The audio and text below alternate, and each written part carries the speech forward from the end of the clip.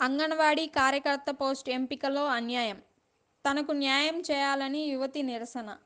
పొదిలి మండలం తుమ్మగుంట గ్రామానికి చెందిన సంధ్య అనే యువతి సిడిపిఓ కార్యాలయం ముందు కూర్చొని నిరసన తెలిపింది. నాకు అన్ని అర్హతలు ఉన్న స్థానికేతరులకు అంగన్వాడీ టీచర్ ఇచ్చారని నాకు అన్యాయం జరిగిందని ఆరోపించింది. రాజకీయ కారణాలతో నాకు అన్యాయం చేశారని ఉన్నతాధికారులు జోక్యం చేసుకొని న్యాయం చేయాలని ప్రభుత్వాన్ని డిమాండ్ చేసింది.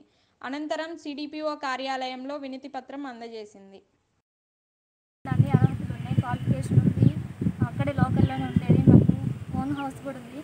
కానీ నాన్ లోకల్ అమ్మాయి వచ్చి అప్లై చేస్తే అన్ని ప్రూఫ్స్ పెట్టింది. తనకే జాబ్ ఇచ్చారు.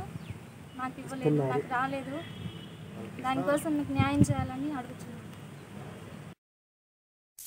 మీకు ఈ వీడియో నచ్చినట్టయితే లైక్ చేయండి షేర్ చేయండి సబ్స్క్రైబ్ చేయండి. రెగ్యులర్ నోటిఫికేషన్స్ కోసం బెల్ బటన్ని ప్రెస్